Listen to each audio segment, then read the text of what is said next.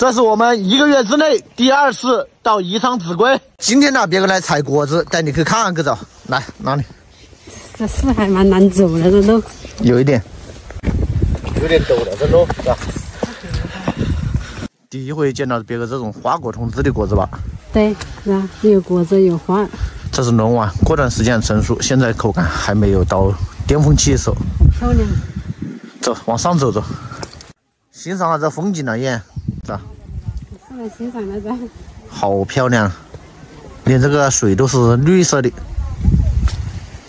秭归的橙子啊，它甜就甜在灌溉着这个长江水长大的，难就难在啊，全部要靠人工背到山下面去，因为这个很多地方它根本路都没有。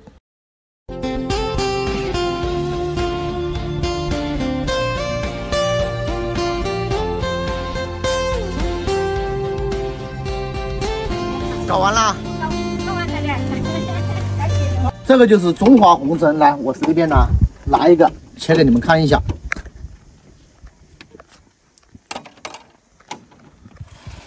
这水分足的很了。